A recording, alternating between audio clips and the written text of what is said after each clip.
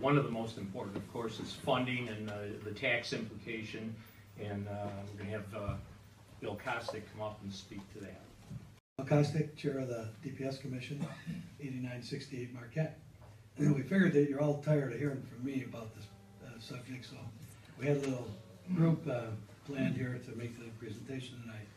But as you know, we've been studying this for many years, and I've been before you over the last couple of years a few times. We've been studying this at least four years. We drive the roads once or twice a year.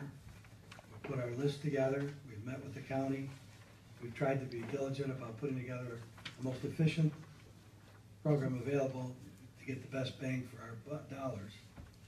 And part of that is what we hope to soon see on the island is a chip seal program. And Just wanted to clarify, the chip seal program, we hope to do twelve to fifteen miles of primary and secondary roads beyond the resurfacing and reconstruction. Twice,